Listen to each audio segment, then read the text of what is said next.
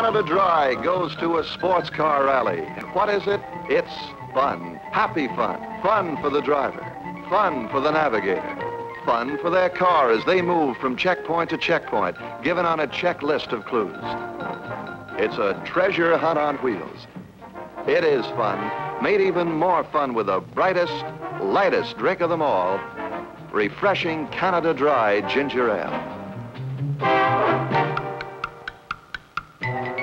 And off they go, completely refreshed. Canada Dry Ginger Ale comes in the handy six-pack. So light, dry, not sugary sweet, not filling. So sparkling, the bubbles tickle your nose.